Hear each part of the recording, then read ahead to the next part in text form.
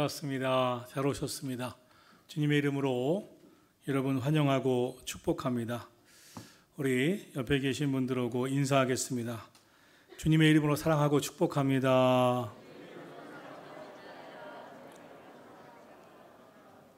성도 여러분의 가정마다 하나님의 은혜와 평강이 함께 하시기를 예수님의 이름으로 축원합니다. 한국에서 부모에게 버림받고 구걸하며 살던 한 아이가 미군에 의해서 입양되어 미국에 건너갔습니다. 그래서 미국의 상원 의원까지 되는 성장하는 삶을 살았습니다. 그런데 의원이 된 어느 날 한 미국인 부부가 찾아와서 상담을 요청했습니다. 그 이유는 한국에 한국에서 이 가정에 입양해 온 아이 하나가 있는데 도무지 마음을 열어주지 않았다는 것입니다.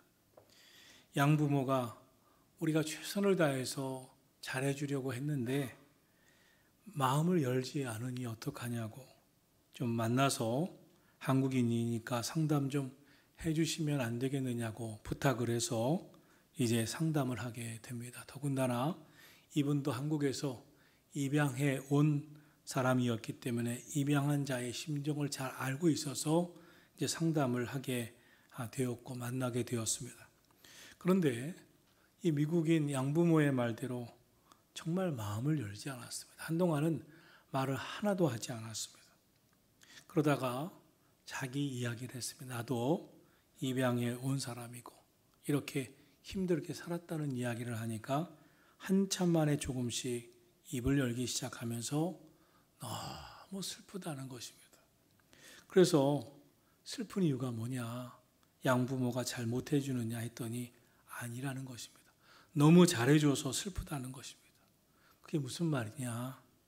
양부모에게는 친아들이 하나 있는데 그 친아들에게는 일도 시키고 청소도 시키고 잘못하면 야단도 치고 혼도 내는데 자기는 잘못해도 야단도 안 치고 혼도 안 내고 일도 안 시키고 청소도 안 시켜서 어느 날 갑자기 생각이 드는데 나를 이 가정의 아들로 생각하지 않는구나. 손님으로 생각하고 있구나. 나를 아들로 인정하지 않다는 생각을 하니 너무나 슬펐다는 것입니다. 그날부터 마음을 꽉 닫고 마음을 열지 않았다는 것입니다. 이분이 이 아이의 방랑의 이유를 알았습니다. 그리고 양부모에게 이 이야기를 전해주면서 친아들하고 똑같이 혼도 내주고 야단도 내고 일도 시키고 또 심부름도 시키는 게 좋을 것 같다고 전해 주었습니다. 그리고는 다시 시간이 흐른 후에 만나게 되었습니다. 그런데 이 아이가 너무 밝아졌어요. 행복한 모습을 띄었습니다. 그래서 무슨 좋은 일이 있었느냐고 물었더니 이렇게 대답하더랍니다. 나 야단 맞았어요. 너무나 기분 좋아요. 나 혼났어요. 너무나 행복해요. 이제는 심부름도 시켜요. 일도 시켜요. 아빠한테 혼났다고 엄마한테 야단 맞았다고 그렇게 좋아하더랍니다. 무슨 심정이겠습니까? 이 아이는 불안한 것입니다. 입양해 왔지만 이 가정에서 나들, 나를 아들로 생각하고 있는가? 불안해 왔던 것입니다. 인간은 불안의 동물입니다. 항상 불안 초조가 우리 마음에 있습니다. 미래가 불안하고 노후가 불안하고 내일이 불안합니다. 한 치 앞도 내다볼 수 없기 때문에 안정감이 없습니다. 이 입양해 온 이 아들 그렇게 미국인 양부모가 잘해줘도 확신이 없었습니다. 이 가정에서 나를 언제까지 지켜줄 것인가? 나를 진짜 아들로 생각하는가? 그리고 나서 상담을 마친 후에 다른 아들하고 똑같이 혼돈하고 야단도 나니까 어느 날부터 마음이 놓이기 시작합니다. 아, 아들로 받아주나 보다. 일도 시키는구나. 그때 마음의 안정감을 찾고 나는 이 가정에 드디어 아들이 됐다는 확신이 생겼다는 것입니다. 그런데 양부모의 입장에서 이 아이를 한번 생각해 보세요. 이 아들의 입장은 맞습니다. 확신이 없으니까, 인생이 불안하니까, 너무나 잘만 해주고 혼도 안 내니까 손님이지 내가 무슨 아들이야. 이런 마음을 들었다고 했지만 이 양부모의 심정은 어떻겠습니까? 이 양부모는 입양을 해놓고 노심초사. 혹시나 상처받을까? 내가 혼을 내면 상처나 받지 않을까? 야단치면, 일시키면 자기가 입양해온 아이라 일시키는 게 아닌가 불안해서 오히려 일도 안 시키고 혼도 안 냈는데 이 아이가 오히려 그것 때문에 상처받고 있었다니 거꾸로 이 부모의 마음도 마음이 상처가 된 것은 사실입니다. 왜입니까? 이 부모도 불안한 거예요. 혼을 내면 이 아이가 어떻게 생각할까? 야단치면 어떻게 생각할까? 이것이 인간입니다. 인간은 미래에 대한 확신이 없어요. 오늘 삶에 대한 확신이 없습니다. 늘 불안합니다. 자신이 없습니다. 여러분, 이 양부모가 정말 원하고 하고 싶었던 말은 무엇이었겠습니까? 얘야, 우리가 너를 얼마나 사랑하는지 아니? 우린 정말 너를 사랑해. 그래서 내 마음 열고 싶고 너랑 친하고 싶어서 너 마음 다치지 않게 하려고 혼도 안 낸 거야. 야단도 안 친 거야. 마음 좀 열어. 정말 우리는 널 사랑한단다. 이 마음 아니었겠습니까? 여러분, 인생이 그렇습니다. 우리 마음에 불안한 마음, 초조한 마음을 갖고 살면 늘 인생은 불안할 수밖에 없습니다. 그런데 오늘 많은 크리스천들을 향하여 하나님께서 그런 마음을 가지실 것입니다. 오늘도 교회 나와 예배도 드리고 어떤 이는 기도도 하고 어떤 분은 이제 10년, 20년 또 몇 년씩 신앙생활 하면서도 아직까지 불안해 사는 불안해하며 사는 성도들 하나님에 대한 믿음 전능하신 창조주 하나님이 나를 지켜 주신다는 믿음 나를 사랑해 주신다는 믿음 책임져 주신다는 그 믿음이 없이 확신이 없이 살아가는 불안의 초조에 힘들어하며 사는 성도들을 보면서 주님은 어떠한 마음이 드시겠습니까? 내가 너를 얼마나 사랑하는 줄 아냐? 내가 너를 지켜보호하고 있단다. 머리털 하나 상하지 아니하도록 나는 너를 보호하고 싶단다. 주님의 마음 아니겠습니까? 사랑하신 성도 여러분, 이 시간 내가 너를 얼마나 사랑하는지 아느냐 하시는 주님의 음성이 여러분 심령, 여러분의 귀에 들려오기를 주의 이름으로 축원합니다. 예수님께서 부활하신 모습으로 예수님의 제자들에게 찾아가 만나 주셨습니다. 그런데 그때 베드로는 부활하신 예수님을 만났습니다. 그럼에도 불구하고 갈릴리 호수로 고기나 잡으러 가겠다고 그는 옛 생활로 돌아갔습니다. 그때 예수님이 너무나 안타까우셔서 그 베드로를 찾아가 세 번이나 물으셨습니다. 베드로야, 네가 나를 사랑하느냐? 네가 나를 사랑하느냐? 네가 나를 사랑하느냐? 예수님이 왜 세 번이나 똑같은 질문을 하셨겠습니까? 예수님은 내가 너를 얼마나 사랑하는지 아느냐? 내가 너를 사랑해서 너를 나의 제자로 삼았고 고기 잡는 어부에서 사람 낚는 어부, 사람 살리는 어부가 되라고 훈련시키고 제자와 만들었는데 너는 이제 제자의 삶을, 살기는커녕 예수님이 십자가에 고난 받으실 때 실수했다고 예수님 부인했다고 예수님 모른다고 했다고 죄책감에 빠져서 부활하신 예수님이 너에게 만나 주셨음에도 불구하고 나는 더 이상 예수님의 제자가 되지 않겠다고 일생활로 돌아가다니 너무나 안타깝구나. 너무나 속상하구나. 내가 너를 얼마나 사랑했는데, 너를 얼마나 기대했는데, 그렇게 옛생활로 돌아가다니. 진짜 나를 사랑한 것은 맞느냐? 네가 나를 사랑한 것은 맞느냐? 주님이 물으신 것 아니겠습니까? 사랑하는 성도 여러분, 오늘도 염려, 걱정, 불안, 초조 속에 살아가고 있는 여러분을 향해서 주님이 물으실 것입니다. 내가 너를 사랑하노라. 너는 이 믿음이 있느냐? 신앙생활은 확신입니다. 신앙생활은 하나님은 지금도 살아계시다는 것과 하나님은 나를 사랑하신다는 것과 그 하나님이 지금도 나를 지켜주기를 원하신다는 확신을 갖고 사는 것이 신앙생활인 줄로 믿습니다.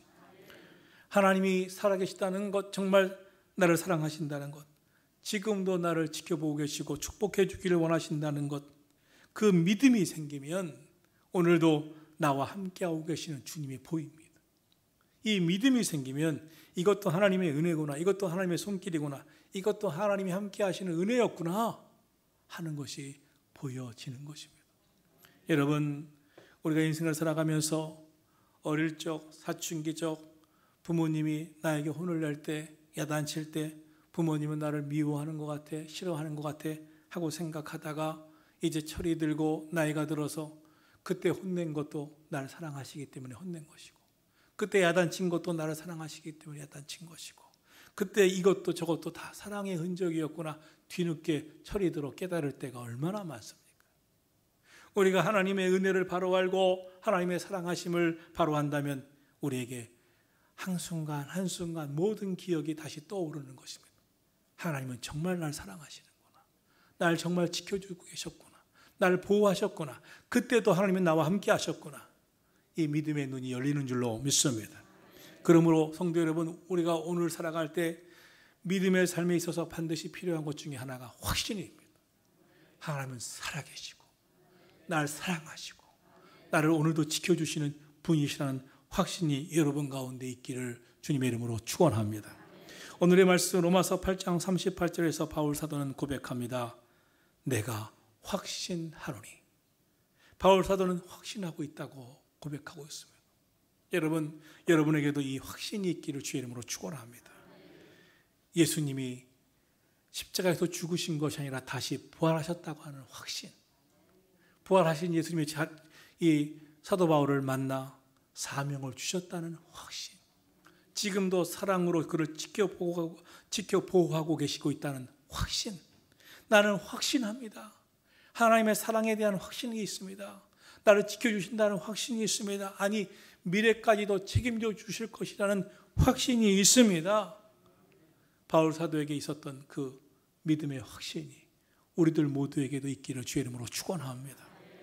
그럼 바울은 무엇에 대해 확신하고 있었을까요? 철제로 로마서 8장 37절은 말씀합니다. 이 모든 일에 우리를 사랑하시는 이로 말미암아 우리가 넉넉히 이기느니라. 할렐루야. 전능하신 창조주 하나님이 나를 사랑하시기 때문에 나는 인생의 어떤 어려움을 만나도 문제를 만나도 내 인생에 풀기 힘든 일이 있어도 넉넉히 승리한다는 확신이 있었습니다. 여러분, 여러분 마음에도 내 인생에 문제가 찾아왔을 때 이 문제를 내가 해결할 수 있을까? 이 고비를 넘어갈 수 있을까? 이 어려움에서 나는 주저앉지 않는 것인가? 실패하나 하지 않는 것인가? 패배하나 하지 않는 것인가? 하는 것이 아니라 살아계신 주님이 나를 사랑하시기 때문에 그로 말미암아 나는 넉넉히 승리할 것이다. 이 믿음이 있기를 주의 이름으로 축원합니다. 바울 사도는 이전에 예수님을 부인하던 사람이었습니다. 아니 예수님을 핍박하던 사람이었습니다. 그런데 예수님이 강력한 빛 가운데 그를 만나 주셨습니다. 그 순간 그는 그 빛 때문에 눈이 멀 정도였습니다. 그리고 그 속에서 음성이 들렸습니다. 잠시 눈을 먼 그에게 똑똑한 주님의 음성이 들려왔습니다. 사울아 사울아 왜 나를 그렇게 핍박하느냐 박해하느냐 그 어마어마한 빛과 음성으로 만나 주님을 체험하는 그 순간 그는 그 빛 때문에 눈이 멀었습니다. 그때 주님께서 보내신 아나니아라고 하는 제자가 찾아왔습니다. 나는 주님이 너에게 보내, 보내신 제자다. 너에게 안수 기도 하라고 주님이 보내셨다. 그리고 그에게 안수 기도를 이 아나니아라는 제자가 할 때 성령이 뜨겁게 임했습니다. 그리고 그의 눈이 떠졌습니다. 성경의 표현에 의하면 그의 눈에 비늘 같은 것이 떨어져 나가면서 그는 보이지 않았던 것이 보이기 시작했다고 했습니다. 왜 그때 주님은 그의 눈을 멀게 하셨고 음성을 듣게 하셨고 아나니아를 보내셨고 하나님이 예수님이 너에게 나를 보내셔서 너를 위해 안수기도 하고 안수기도 할 때 그의 눈에서 비늘이 떨어져 다시 보게 하시는 그런 체험을 하게 하셨을까요? 왜 그렇게 만나 주셨을까요? 주님은 이미 이 사울이라는 청년과 청년을 택해 주시고 사랑하셨고 그를 부르시고 계셨습니다. 그런데 그는 주님을 멀리했습니다. 주님을 무시했습니다. 그런데 그날 그 체험으로 체험으로 인하여 이 사울은 완전히 인생이 180도 바뀝니다. 정말 주님은 살아계시는구나. 날 사랑하셨구나. 날 지켜주고 계셨구나. 그날의 체험으로 그는 회심하게 됩니다. 바울은 바뀝니다. 그의 변화는 주님이 자신을 버리지 않으시고 포기 않으신, 포기하지 않으신 결과였습니다. 주님의 사랑에 대한 결과였습니다. 그때부터 그는 마음이 달라집니다. 하나님이 나를 사랑하시는구나. 나를 택하셨구나. 나를 쓰시려고 사명도 주시는구나. 그때부터 그의 인생은 변화되고 예수님을 핍박하던 그가 예수님을 전하기 시작했습니다. 교회를 없애던 사람이 교회를 세우기 시작했습니다. 예수 믿는 사람을 오게 가두던 사람이 믿지 않은 사람들을 찾아가 예수를 믿게 했습니다. 그의 회심은 그의 인생과 기독교 역사의 줄기를 바꿔 놓았습니다. 확신은 모든 신앙인들에게 반드시 있어야 할 것입니다. 내가 믿는 하나님은 살아계시다. 내 인생을 책임져 주신다. 내가 기도하면 응답하신다. 나를 사랑하신다. 동시에 이 확신은 감리교회 신앙의 핵심입니다. 감리교회 전도 운동을 열었던 존 웨슬리는 그의 마음에 성경적인 지식, 기독교의 지식이 분명한 아주 학구적이고 수준 높은 지성인이었습니다. 그러나 그는 지식과 지성은 갖추었지만 성령의 확신, 성령의 능력이 없었습니다. 그런데 그가 회심합니다. 그가 바뀌어집니다. 이전에 경험하지 못했던 일을 경험합니다. 성령의 체험 후에 존 웨슬리는 바뀌어집니다. 그래서 감리교회는 두드러지게 성령의 충만함을 강조하고 성령의 체험을 강조하며 하나님의 은혜를 받으라고 뜨겁게 기도하자고 외치는 그런 교단이 된 것입니다. 신앙은 확신입니다. 그러므로 오늘 우리도 우리에게 필요한 것도 이 확신인 줄로 믿습니다. 확신이 있어야 성도는 기도합니다. 기도 응답에 대한 확신이 없는데 누가 기도합니까? 확신이 있어야 예배를 드립니다. 확신이 없는 사람이 예배에 온전히 드릴 수가 있습니까? 그냥 형식적인 예배를 어떻게 드립니까? 예배는 하나님 받으시고 예배에 성령이 임재하신다는 확신이 있어야 예배가 정성이 되는 것입니다. 우리 인생에 어려움이 있어도 영적인 전쟁에 있어도 확신이 있어야 하나님이 나를 지켜주실 것이다. 축복하실 것이다. 기도하게 되고 승리하는 줄로 믿습니다. 확신이 있어야 봉사도 되고 헌신도 됩니다. 주님이 내가 봉사할 때, 헌신할 때 기뻐 흠양하시지. 봉사하는 것을 지켜보시지. 나를 하나님의 자녀로 택하신 주님은 내가 주 앞에 헌신할 때 잘했다. 착하고 충성된 종아 축복하시지. 이런 확신이 없는 사람이 어떻게 봉사가 됩니까? 이 봉사가 어려운 것입니다. 헌신이, 헌신이 힘든 것입니다. 헌신은 괴로운 것입니다. 그러나 주님의 살아계심에 대한 확신, 내 봉사와 헌신을 기쁘게 보신다는 확신이 생기면 모든 게 행복합니다. 모든 게 되어지는 것입니다. 사랑하는 성도 여러분, 확신이 없는 신앙생활은 능력이 없습니다. 감격이 없습니다. 오늘 저와 여러분에게 주님이 주신 이 은혜가 임하기를 예수님의 이름으로 축원합니다. 세계의 철학자라고 불렸던 실존주의 철학자 샤르트르에 관한 이야기입니다. 1980년 3월에 프랑스의 파리 브루세 병원에 그는 폐수종으로 입원하게 됩니다. 이 샤르트르는 죽음으로부터의 자유를 외친 신이 없다고 주장한 실존주의 철학자였습니다. 당시에 선풍적인 인기를 꼈습니다. 질병으로 죽어가면서 그는 죽음에서 우린 자유하자. 그러면 자유로울 수 있다. 신은 없다. 죽음 때문에 신이 두려운 것이지. 죽음에서 자유롭고 평안하게 죽자. 그러나 그는 질병으로 죽어가면서 고통 속에서 이 한 달 동안 이 병원을 발칵 뒤집어 놓았습니다. 소리를 질렀습니다. 사람들을 찾아오면 고함을 치며 절규했습니다. 미래에 대한 확신이 없으니 죽음 에 대한 확신이 없으니 그는 불안할 수밖에 없었습니다. 그는 자신에게 찾아온 죽음에 대한 불안과 공포 때문에 내 병명이 뭐야? 계속 간호하고 있었던 간호하고 있었던 아내에게 묻지도 못했습니다. 의사에게 묻지도 못했습니다. 현대인에게는 깊은 감동을 주면서 자유만 있으면 죽음도 두렵지 않다고 죽음에서 자유롭자고 신은 없다고 외쳤던 그의 수필과 글을 남겼지만 마지막은 실로 그는 자유롭지 않았습니다. 오히려 비참했습니다. 그리고 그는 1980년 4월 16일에 입원한 지꼭한달 만에 불안하고 초조해하고 괴로워하고 부르짖다가 병원에서 세상을 떠납니다. 그가 세상을 떠난 후에 이 프랑스의 신문들은 샤르트르의 죽음에 대해 보도하기 시작했습니다. 죽음으로부터 자유를 그렇게 외쳤던 그의 말로가 이렇게 죽음에서 자유롭지 못하다니 불안하고 비참하고 초조하고 괴롭다는 이유가 무엇이었을까? 이에 대해 어떤 녹자가 신문에 투고합니다. 샤르트르의 마지막이 그렇게 비참했던 이유는 샤르트르에게는 미래가 없었기 때문입니다. 미래에 대한 확신, 죽음 이후에 대한 확신이 없었기 때문입니다. 소망이 없었기 때문입니다. 죽음 이후에 대한 천국의 소망, 미래의 소망이 없었기 때문에 그는 불안할 수밖에 없었습니다. 두려워할 수밖에 없었습니다라고 전해 주었습니다. 독일의 신학자 보네표의 이야기입니다. 세계 제 2차 대전 중에 독일의 수용소에서 그는 나치에 항거하다가 죽음을 맞이하게 됩니다. 어느 날 갑자기 한 간수가 문을 두드리고 들어오는데 그는 직감적으로 오늘이 내 죽는 날이구나 알았습니다. 자기의 마지막임을 직감하고 벌떡 일어나서 깜방에 있는 모든 형제들에게 형제 여러분 나 이제 죽으러 갑니다.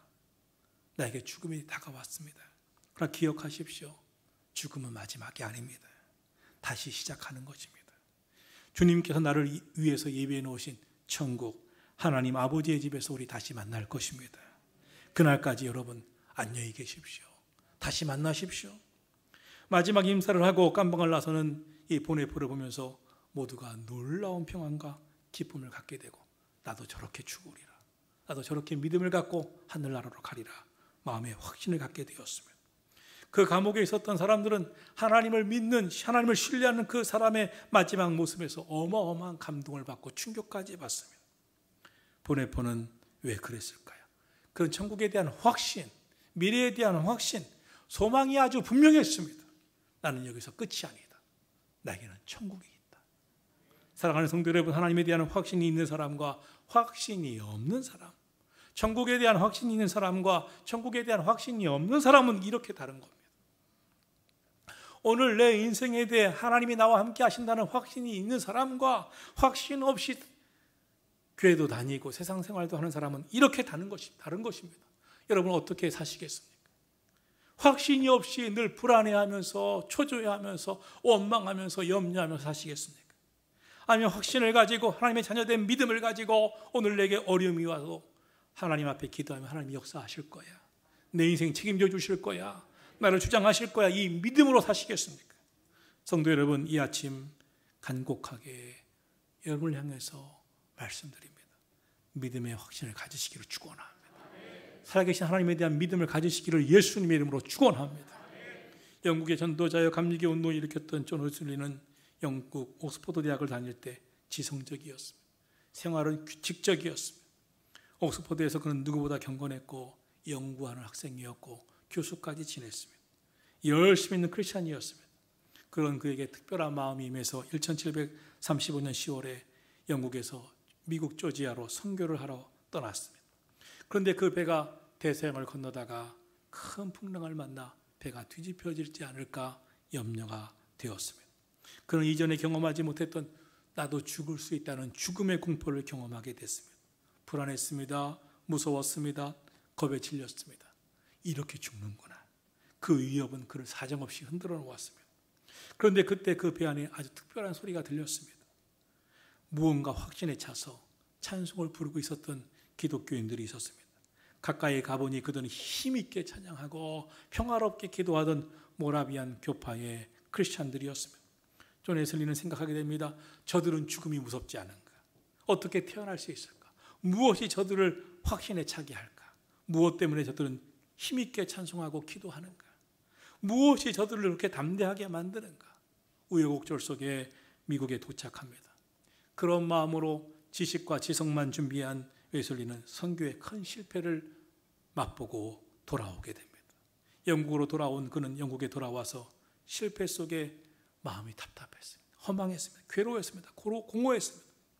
그러던 어느 날 1738년 5월 24일 저녁 9시 15분 전 전쯤에 올더 스케이커리로 한 집회에 참석하게 되면 그날 그는 특별한 회심을 합니다. 성령의 충만함을 받습니다. 그날의 일기는 이러합니다. 저녁에 나는 별로 내키지 않는 걸음이었지만 올더스케이트의 집회에 참여하게 됩니다. 그때 한 사람이 루터의 로마서 선문을 읽고 있었습니다. 믿음을 통해 하나님께서 그 마음의 변화를 일으키신다는 말씀을 설명하고 있었습니다. 그때였습니다. 갑자기 제 마음이 뜨거워지기 시작했습니다. 그 말씀을 듣는데 나는 예수 그리스도를 믿는 믿음이 임하며 내 가슴이 뜨거워졌습니다.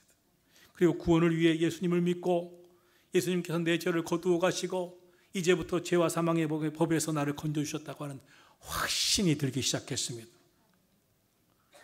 오늘은 바로 존 웨슬리 회심 284주년 기념주일이 됩니다.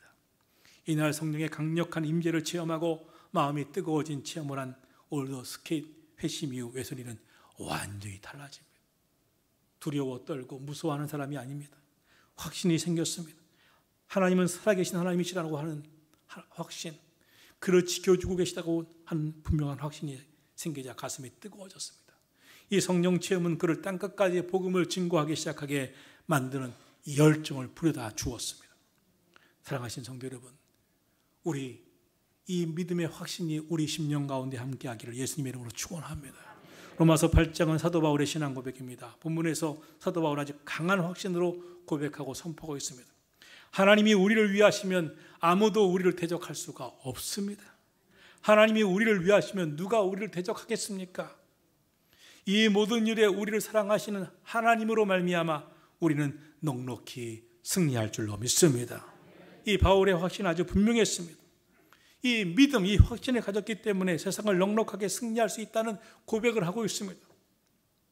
사랑하는 성도 여러분, 이 확신이 어디서 왔습니까? 어디서 이런 믿음이 생겼습니까? 그가 잘나서입니까? 아닙니다. 그의 믿음이 특별해서입니까? 아닙니다. 하나님이 그를 사랑하심을 깨달았기 때문입니다. 주의 성령이 그의 마음에 확신을 주셨기 때문입니다. 우리를 사랑하신 하나님, 예수 그리스도 안에서 우리에게 주시는 그 은혜가 우리 마음을 움직여 가시는 것입니다. 여러분, 바울 사도와 존 웨슬리에게 그 마음을 뜨겁게 움직이시고 확신을 주셨던 주님이 이 시간 여러분의 마음에도 불안, 초조, 염려, 근심을 떨쳐버리게 하시고 살아계신 하나님, 나를 지켜주시는 주님을 믿는 믿음의 확신을 부여해 주시기를 예수님의 이름으로 축원합니다. 둘째로 바울 사도의 확신은 바로 하나님의 사랑에 대한 확신이었습니다. 38절 내가 확신하노니 사망이나 생명이나 천사들이나 권세자들이나 현재 일이나 장래 일이나 능력이나 높음이나 깊음이나 다른 어떤 피조물이라도 우리를 우리 주 예수 그리스도 안에 있는 하나님의 사랑에서 끊을 수 없으리라. 할렐루야. 하나님의 사랑에 대한 확신에 찬 모습입니다. 이 강력한 확신을 우리가 가질 수 있다면 얼마나 좋겠습니까? 우리가 이 세상을 살면서 그런 마음을 가져야 됩니다. 부부간에도 우리 내외는 정말 뜨겁게 사랑하고 있었다. 부모 자식 간에도 우리 부모님은 나를 정말 사랑하신다. 우리 자녀는 나를 정말 사랑한다. 이런 가족 간에도 사랑에 의심이 없어야 됩니다. 그런데 내외 간에 부모 자식 간에 얼마나 사랑에 대해 의심합니까? 쟤는 날 안 사랑하나 봐. 우리 배우자는 나를 안 사랑하나 봐. 그런 불안한 마음이 우리 마음에 얼마나 이 가정에 불화도 주고 악한 영이 역사해서 가정을 다투게 만들고 염려하게 만듭니까? 여러분, 사탄이 주는 것은 불안입니다. 사탄이 주는 것은 염려입니다. 우리 하나님은 확신을 주십니다. 믿음을 주십니다. 여러분 가정에도 이 믿음이 있기를 주의 이름으로 축원합니다. 우리 교회 안에 이 믿음으로 충만케 되기를 주의 이름으로 축원합니다. 어떤 분들은 그렇습니다. 제가 이제 교인들이 이렇게 예배 끝나고 나갈 때 다 인사하는데 이 새 문에서 나오니까 인사하다가 또 이렇게 인사하다 이렇게 인사하다가 또 놓칩니다 제가. 그러면 목사님은 나한테 인사하러 오지 않고 저 사람한테 갔다고 나는 미워하고 저 사람만 좋아한다고 저를 의심합니다. 의심하지 마십시오 여러분. 확신을 가지시기 바랍니다. 어떤 때는 제 손이 한 100개쯤이었으면 좋겠습니다. 나가서. 그럼 의심하지 마세요. 여러분 가정의 사랑에 대해 의심하지 마세요. 하나님 사랑에 대해서 의심하지 마세요. 확신을 가진 신앙생활과 확신이 없는 신앙생활은 하늘과 땅 차이입니다. 신앙생활만 그렇습니까? 우리의 삶도 마찬가지입니다. 무엇을 하더라도 확신을 가진 사람과 확신이 없는 사람은 완전히 다, 완전히 다릅니다. 나도 될지 안 될지 모르는데 무슨 열정이 생기고 누가 감동을 받아서 쫓아옵니까? 내가 확신에 차 있지 않으면 역사가 나타날 수가 없습니다. 믿음은 더 그렇습니다. 확신을 가지고 있는가 아닌가가 중요합니다. 바울 사도는 예수님을 만나고 구원의 은혜를 체험하고 그러므로 더욱 성령의 충만함 속에 수없는 간증과 기적을 보았습니다. 그래서 그는 그의 인생이 확신, 확신, 확신을 계속해서 얻었습니다. 그래서 이렇게 나중에 고백합니다. 내가 주 예수께 받은 사명, 이 복음을 증언하는 일에는 나의 생명도 죽음도 귀한 것으로 여기지 아니하며 복음을 증거하노라. 확신의 차이 있었습니다. 확신의 차이 있을 수밖에 없었습니다. 빌립보 감옥에서 밤새 신라와 함께 찬송하고 기도하는데 옥문이 열려요. 옥문이 열려도 착고가 열려도 도망치지 않자 간수가 찾아왔다가 오히려 거꾸로 엎드려 내가 어떻게 해야 구원을 얻겠냐고 물어요. 주 예수를 믿으라 그러면 너와 내 집에 구원을 얻으리라. 선포하자 그가 믿어요. 이런 수없는 기적을 경험하면서 그는 마음의 믿음의 확신에 차 있었습니다. 여러분 신앙생활은 담대하시고 뜨겁게 기도하셔야 됩니다. 기도하면 확신이 생기는 우리 인생의 체험이 임합니다. 어려운 일을 결단하고 기도하고 나가면 하나님께서 응답해 주셔서 내 마음의 확신을 더 깊게 하시고 더 차게 하시는 줄로 믿습니다. 성령께서 임재하신 신앙생활은 성령 하나님이 우리로 하여금 그런 확신에 이룰 수 있도록 이끌어 가시는 줄로 믿습니다. 그것이 신앙생활입니다. 믿음으로 기도하다 보면 믿음의 결단을 하다 보면 하나님이 그러한 마음을 주세요. 그렇게 이끌어 가세요. 나를 붙잡아 주십니다. 우리가 하나님을 사랑한다고 하지만 실상은 내가 사랑하는 것이 아니라 성령 하나님의 강력한 은혜가 내게 임하여 하나님을 사랑하게 하시는 은혜가 나를 사로잡아 가시는 줄로 믿습니다. 신앙은 먼저 하나님이 나에게 행하신 것이고 거기에 내가 순종해 반응해 나갈 때 놀라운 역사가 내 삶에 시작되는 줄로 믿습니다. 은혜를 받으니까 성령의 역사를 경험하고 나니까 믿어지는 것이고 확신이 생기는 것이고 순종하게 되는 것이고 봉사하게 되는 것이고 우리 삶에 기적이 일어나는 줄로 믿습니다. 내가 하나님을 사랑하려고 해서 사랑하는 게 아닙니다. 하나님 베푸신 사랑이 내게 임함을 경험하고 나서 그 사랑의 나를 이끌려 주님이 나를 붙잡아 가시면 내가 순종해 나갈 때 그렇게 되어지는 줄로 믿습니다. 그게 은혜입니다. 하나님의 사랑을 깨닫는 단계에 이르면 그 다음은 내 힘이 아니라 전적으로 하나님이 나를 통하여 역사에 주시는 줄로 믿습니다. 그러므로 우리 안에는 영적 비밀이 있습니다. 높음이나 깊음이나 다른 어떤 피조물이라도 우리를 우리 주 예수 그리스도 안에 있는 하나님의 사랑에서 끊을 수가 없으리라. 하나님의 나를 향한 사랑은 끊을 수가 없다. 여러분, 여러분 가운데 이 확신이 있기를 주의 이름으로 축원합니다. 믿음이 무엇입니까? 하나님을 믿고 신뢰하는 확신입니다. 신앙인들은 하나님에 대한 신뢰를 가지고 살아갑니다. 그 신뢰는 강하고 분명한 영적인 믿음입니다. 하나님이 나를 사랑하신다는 확신의 신뢰입니다. 바울 사도는 예수님을 만난 후에 그가 가졌던 이전의 생각과 주장을 다 바꾸게 됩니다. 그런 예수님은 십자가에서 죽고 끝이 났다고 생각했고 기독교는 거짓이고 가짜라고 주장했습니다. 그러나 예수님을 만나고 나자 죽으신 예수님이 부활하신 게 맞고 그 주님이 그를 만나 주셔서 그를 변화시킨 것이 맞고 이제는 나는 그분을 위해 살겠노라고 하는 마음이 생기기 시작했습니다. 주님이 사울아 사울아 왜 나를 그렇게 핍박하느냐는 그 음성에 부끄러워졌습니다. 그리고 감격합니다. 이런 나를 포기하지 않으시다니. 이런 나를 여전히 사랑하시다니. 이런 나와 함께 하시다니. 그의 인생은 바뀌기 시작했습니다. 저는 오늘 저와 여러분에게도 이런 강력한 주의 은혜가 함께 하시기를 진심으로 축원합니다. 그리고 흔들리지 말고 믿음의 확신 가지고 살아가실 수 있게 되기를 주의 이름으로 소원합니다. 셋째로 바울 사도의 확신은 로마서 8장 28절 우리가 알거니와 하나님을 사랑하는 자 곧 그의 뜻대로 부르심을 입은 자들에게는 모든 것이 합력하여 선을 이루느니라. 하나님이 그의 인생을 책임져 주신다고 하는 확신에 찬 소망이었습니다. 모든 것이 다 합력하여 선을 이루게 하실 것이다. 불행도 바꾸어 선이 되게 하실 것이고 모든 것이 합력하여 결국은 한 가지 목표 하나님의 은혜와 축복의 길로 나아가게 될 것이다. 그래서 31절은 말씀합니다. 그런즉 이 일에 대하여 우리가 무슨 말하리요? 만일 하나님이 우리를 위하시면 누가 우리를 대적하리요? 자기 아들을 아끼지 아니하시고 우리 모든 사람을 위하여 내어 주시니가 어찌 그 아들과 함께 모든 것을 우리에게 주시지 아니하겠느냐? 하나님에 대한 믿음, 소망이 있었습니다. 하나님은 내가 어려울 때 아들까지도 예수님까지도 우리를 위해 내어 주신 주님이 그 어떤 것은 우리 위해 주시지 않겠느냐? 분명히 응답하실 것이다. 역사하실 것이다. 이 믿음 가지고 기도했고 이 믿음 가지고 전도했고 이 믿음 가지고 봉사했고 이 믿음 가지고 살아갔으면 여러분에게도 이 믿음이 있기를 주의 이름으로 축원합니다. 베드로와 요한이 마가이다 락방에서 성령을 체험합니다. 그 후에 예루살렘 성전으로 올라가다가 성전 미문 앞에서 구걸하던 안진뱅이 거지를 만납니다. 한 푼 달라고 한 양 달라고 구걸하던 그 거린에게 베드로가 이렇게 말합니다. 나는 당신이 원하는 은동전 하나 없습니다. 금화 하나 없습니다. 그러나 내게는 은과 금은 없지만 내게 있는 것이 있으니 곧 내게 있는 것을 당신에게 주노니 곧 나사렛 예수의 이름으로 일어나 걸으십시오.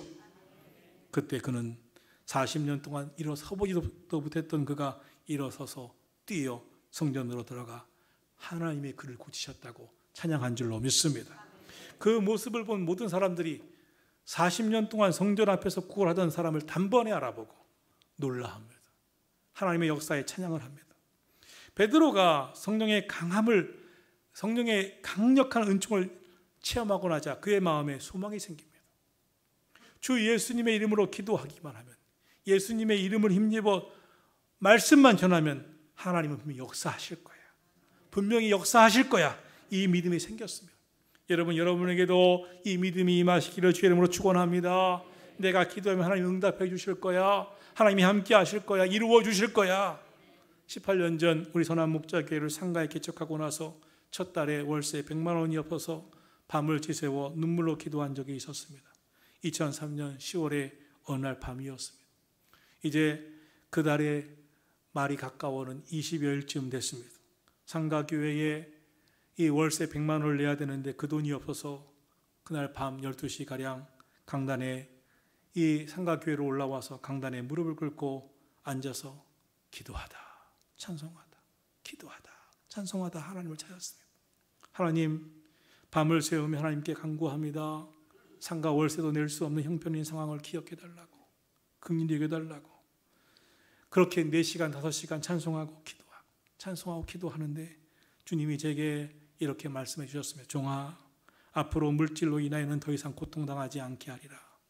그 말씀을 강하게 주시는데 갑자기 내 마음에 강력한 울림이 임했습니다. 확신이 생겼습니다. 하나님이 나를 책임져 주신다. 더 이상 물질로 고통당하지 않게 하신다고 하신다.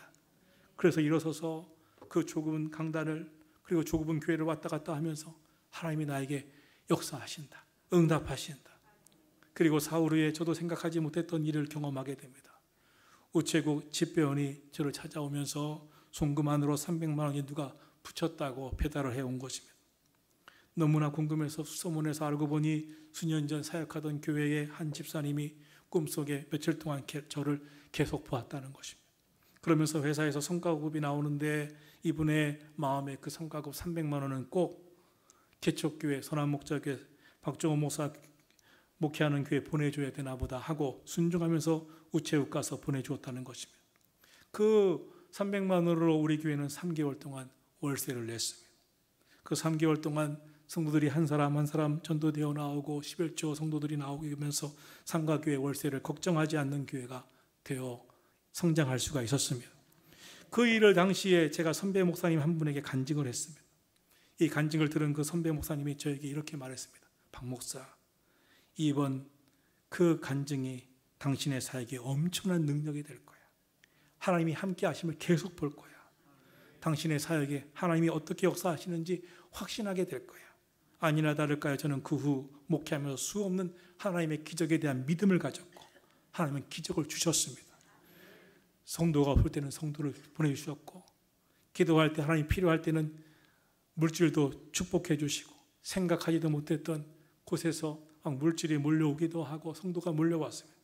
그날의 확신이 저를 이끌고 여기까지 왔습니다. 성도 여러분, 우리의 믿음은 내가 믿은 것 같지만 이 믿음조차도 하나님이 내게 주시는 선물인 줄로 믿습니다. 이 믿음을 유지해 가고 계시는 분도 하나님이신 줄로 믿습니다.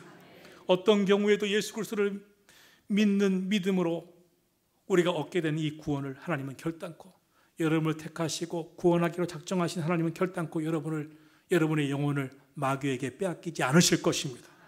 궁극적 구원의 완성에 이르기까지 수많은 일들과 사연, 어려움들이 우리 삶에 있음에도 불구하고 하나님은 반드시 택하신 주의 백성을 보호하시고 건지시고 구원하셔서 천국까지 인도하실 줄로 믿습니다.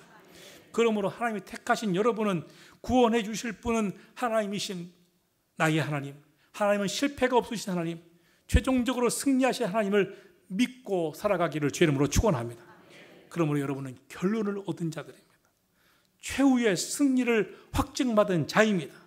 실패할 수 없는 자입니다. 그러므로 오늘 우리 삶에 크고 작은 일이 일어나도 염려하지 마세요. 두려워하지 마세요. 떨지 마세요.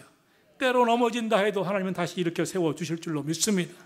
잠언서 24장 16절을 말씀합니다. 대저 의인은 일곱 번 넘어질지라도 다시 일어나거니와 악인은 재앙으로 엎드러지느니라.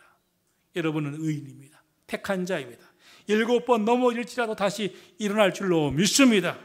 우리가 얻은 구원에 대해 확신하시고 매 순간순간 하나님께 감사와 찬양을 올려드리기를 주의 이름으로 축원합니다. 이 땅에서 일어나는 여러 가지 문제로 인하여 낙심치 마시고 든든히 구원의 줄 붙잡고 믿음의 줄 붙잡고 깨어 기도하고 용기 있게 신앙생활 하시기를 주의 이름으로 축원합니다. 어떤 어려움이 와도 나를 구원해 주시는 주님, 나를 하나님 백성 삼으시고 영원한 천국까지 이르게 하실 주님이심을 믿고 이 믿음 가지고 여러분 우리 모두 이 순례 길에서 영적 자신감을 가지고 승리하게 되기를 예수님의 이름으로 축원합니다. 기도하겠습니다.